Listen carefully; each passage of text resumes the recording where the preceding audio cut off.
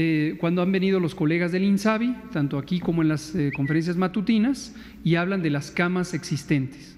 Pero estamos en este momento, cada, precisamente cada autoridad sanitaria de los estados es administrativa, jurídica y operativamente responsable del proceso de reconversión hospitalaria. Nosotros dimos las disposiciones generales, hicimos una guía técnica muy cuidadosa sobre cuáles son los criterios para reconvertir un hospital. Uno de los criterios importantísimos es que haya hospitales COVID y hospitales no COVID. Y cada Secretaría de Salud de los estados es responsable de poner en práctica esta reconversión.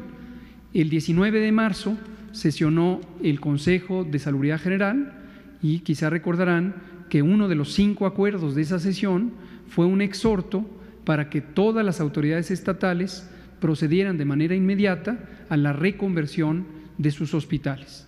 Entonces, este, ha habido avances en distinta velocidad, algunos estados están más avanzados que otros, algunos planes de reconversión son más elaborados que otros y estamos dando seguimiento para que se cumplan.